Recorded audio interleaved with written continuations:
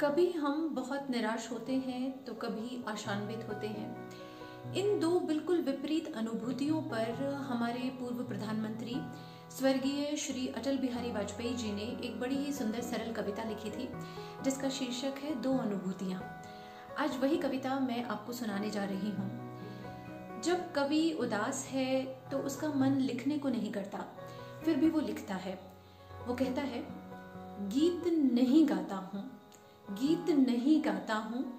बेनकाब चेहरे हैं। बेनकाब चेहरे हैं, दाग बड़े गहरे हैं।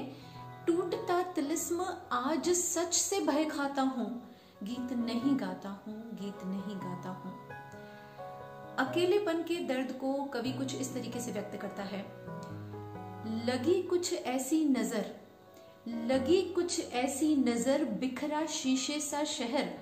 अपनों के मेले में मीत नहीं पाता हूँ, गीत नहीं गाता हूँ, गीत नहीं गाता हूँ।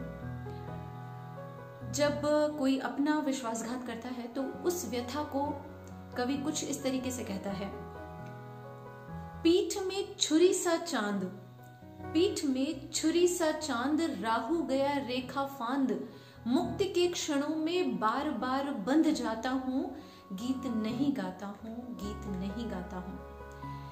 लेकिन जब परिस्थिति बदलती है तो मनह स्थिति बदलती है।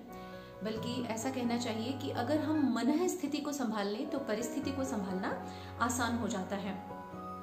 तो जब कवि का मन प्रसन्न है तो वह कहता है, गीत नया गाता हूँ, गीत नया गाता हूँ, टूटे हुए तारों से फूटे वासंती स्वर, टूटे हुए तारों से फूटे वासंती स्वर पत्थर की छाती में उग आया नव अंकुर, झरे सब पीले पात कोयल की कुहक रात प्राची में अरुणिमा की रेख देख पाता हूँ, गीत नया गाता हूँ, गीत नया गाता हूँ। जब किसी के सपने टूट जाते हैं तो उसकी पीड़ा दुनिया नहीं समझती है। इसलिए रोना व्यर्थ है, मुस्कुराते रहिए, प्रयास करिए और अपने सपनों को साकार करिए। कवि इसके बारे में कहते हैं टूटे हुए सपने की सुने कौन सिसकी? टूटे हुए सपने की सुने कौन सिसकी? अंतर को चीर व्यथा पलकों पर ठिठकी। हार नहीं मानूँगा, रार नहीं ठानूँगा, काल के कपाल पर लिखता मिटाता हूँ, गीत नया गाता हूँ, गीत नया गाता हूँ।